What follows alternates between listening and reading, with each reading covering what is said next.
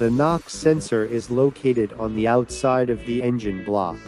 It is intended to record knocking noise in all engine operating states in order to prevent engine damage.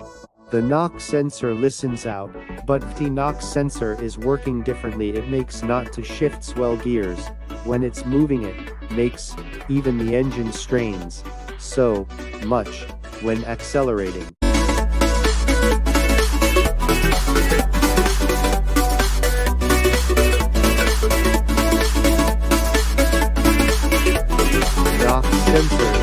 even force you to replace gearbox thinking, that it may course not to change gear.